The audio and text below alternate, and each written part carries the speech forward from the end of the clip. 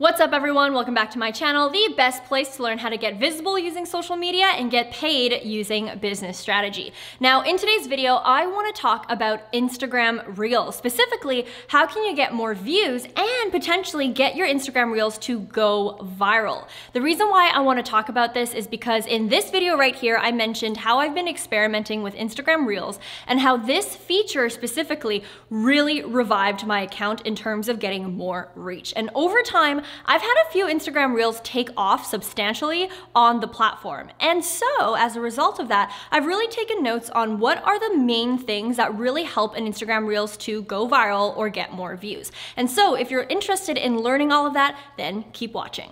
Now, the first tip that I have for you is a foundational tip, and that is leaning into TikTok. Now, you don't have to create content on TikTok specifically, but I strongly believe that it is very beneficial and advantageous to your overall Instagram Reels content plan if you do have a TikTok account. Because as of right now, TikTok is still the leader in short form video content, and so many of the sounds, dances, trends, concepts do stem from this platform. And so by being a part of TikTok and really accessing the content there, it will give you a competitive edge on Instagram Reels. Now, speaking of trends, the next tip that I have for you in order for your videos to have a better chance of going viral is to take advantage of trending sounds and effects. While you can see what is trending on the Instagram Reels Explore page on its own, what will actually get you ahead is actually looking at what's trending on TikTok. Because what I found is that TikTok is usually two weeks ahead for the trends, and by the time something becomes trending on Instagram Reels, it's kind of like old news on TikTok. And so if you're only posting content for Instagram Reels,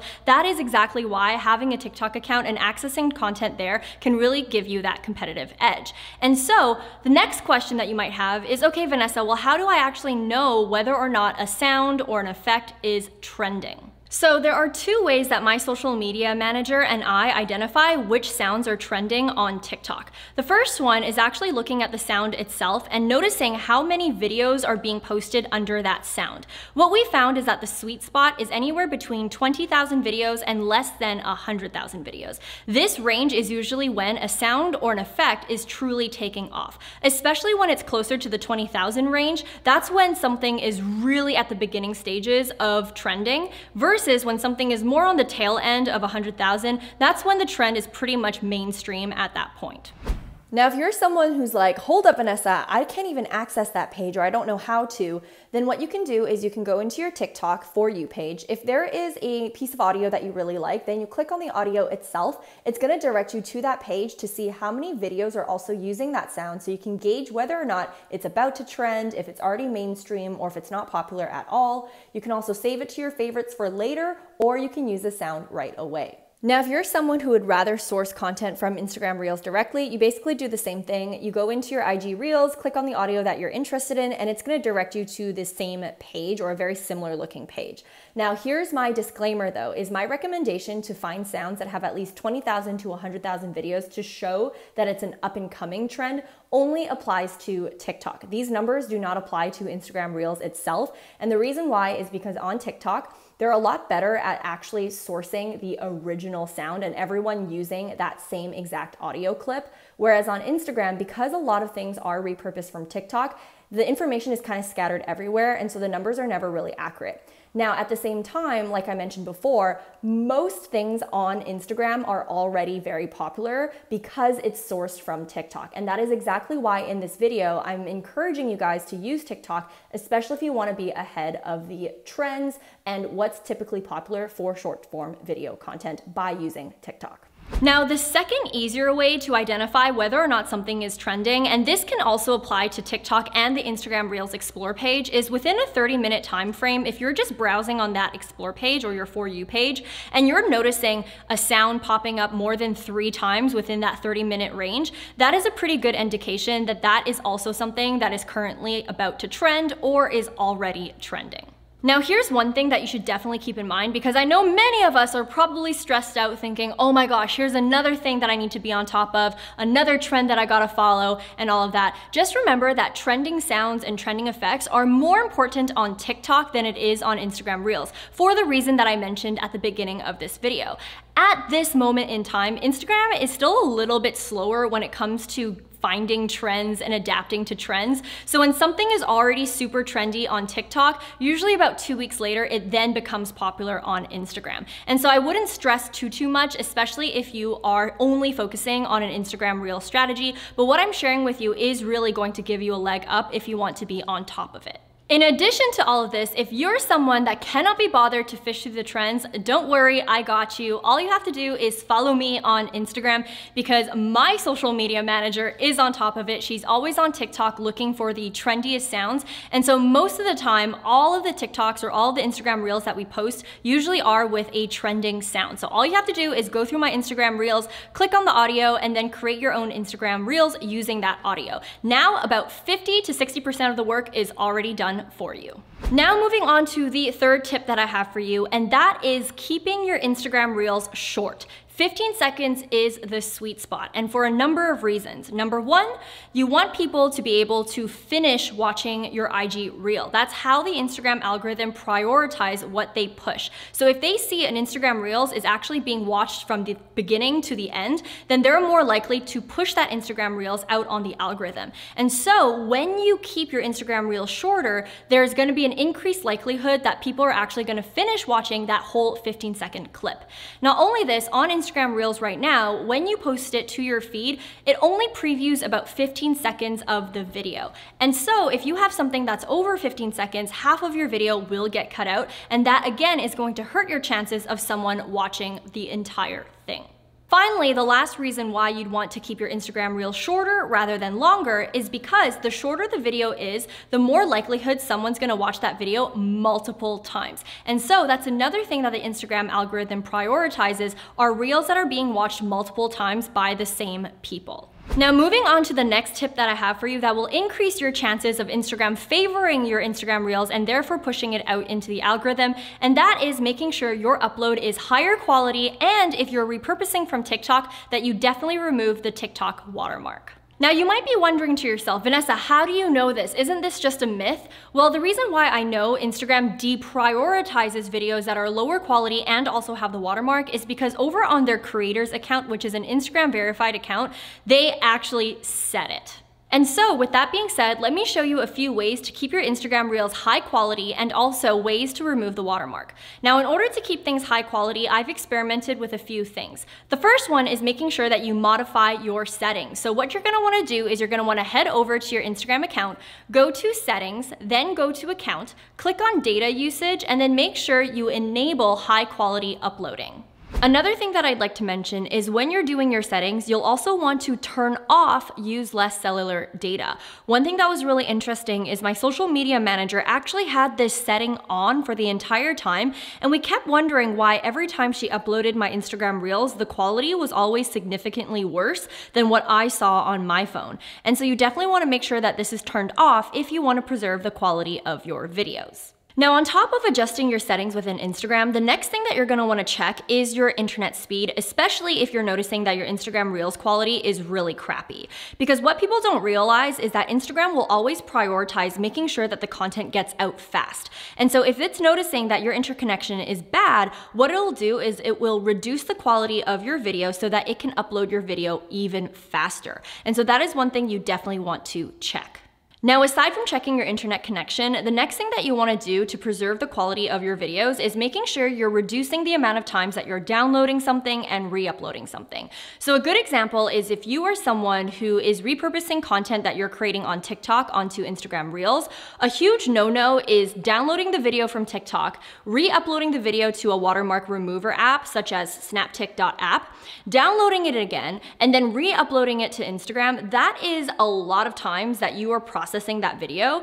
And what happens is every time you download, re-upload, download, and re-upload, especially in different platforms, it's actually gonna reduce the quality of your video. And therefore, the final result is not gonna be crystal clear. That's why what I like to do is I like to make sure that I use TikTok I edit my video and I film my video on TikTok directly, all in one place.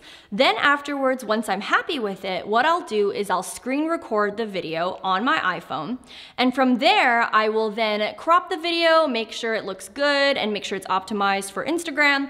And then I'll upload this video directly to Instagram. By doing this, it has preserved the quality by a lot versus doing the first option that I shared. Now, of course, by screen recording, it is still going to reduce the quality of that that video, but I can almost guarantee that it will be much better than downloading and re-uploading every single time.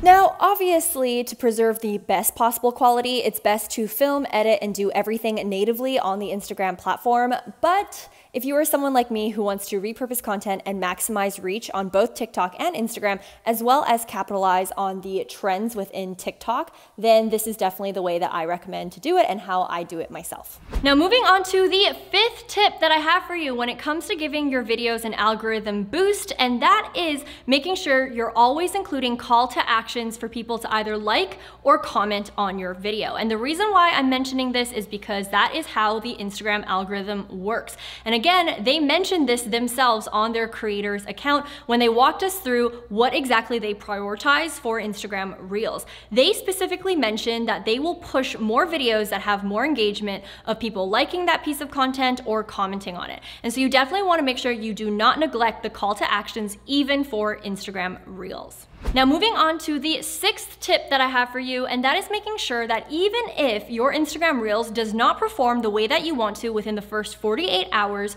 you still do not delete the content. You leave it alone. And the reason why I'm saying this is because many of you do not realize that Instagram Reels has a much longer shelf life than any other content piece for Instagram, such as your carousel post or your IGTVs or your regular feed posts.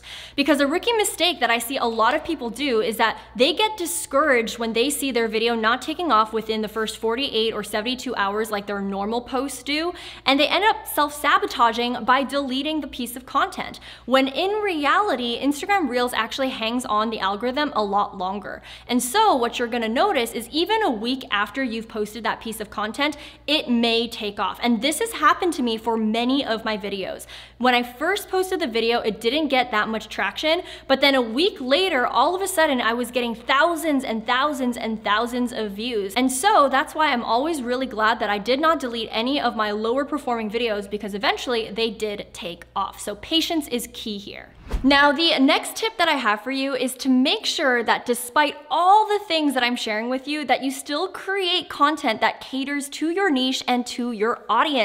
Because at the end of the day, it doesn't matter if you apply all the tips that you've learned so far in this video. If you're just copying whatever is trending or having good video quality or doing all these things, but the content itself doesn't resonate with your core followers, then that's just gonna really reduce the chances of that video taking off in general because it's not getting the initial traction that you would like on your content. To put things into context, here's an example of a TikTok that I took inspiration from. And as you can see, the angle is really around losing weight and the failures of that and whatever else.